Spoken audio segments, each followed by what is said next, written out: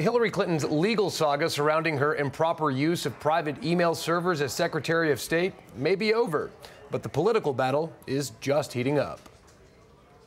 I just heard the news because it just happened, as you know, with the Attorney General of the United States saying, no problem. Crooked Hillary, crooked, so crooked.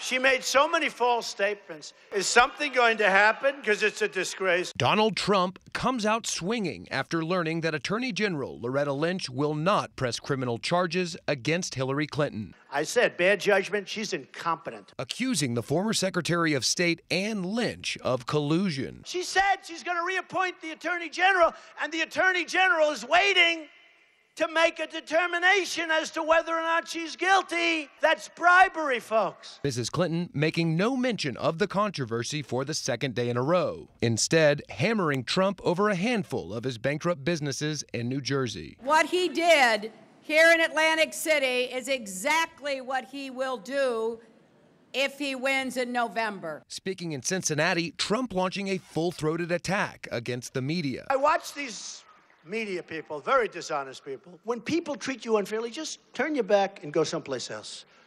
Or knock them on their ass. Insisting that an image he posted and deleted of Clinton on a six pointed star, backdropped by $100 bills, was not meant to promote Jewish stereotypes. When I really looked, it looked like a sheriff's star.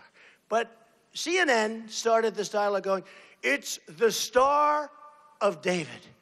And because it's the Star of David, Donald Trump has racist tendencies. These people are sick. But the same image was posted days earlier on a white supremacist message board, and critics argue it evokes anti Semitic sentiment. The de facto GOP nominee also revealing his pick for a key player in his administration should he win the election. I can tell you, in one form or another, Newt Gingrich is going to be involved with our government. He's smart, he's tough, he gets it.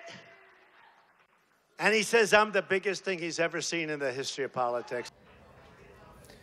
And Trump's campaign also announced a more than $50 million fundraising haul for the month of June. It is his first month of aggressive fundraising heading into the general election. The campaign reports that more than $25 million went to the RNC and other Republican groups. Live in the newsroom, I'm John Finolio. We'll send it back to you.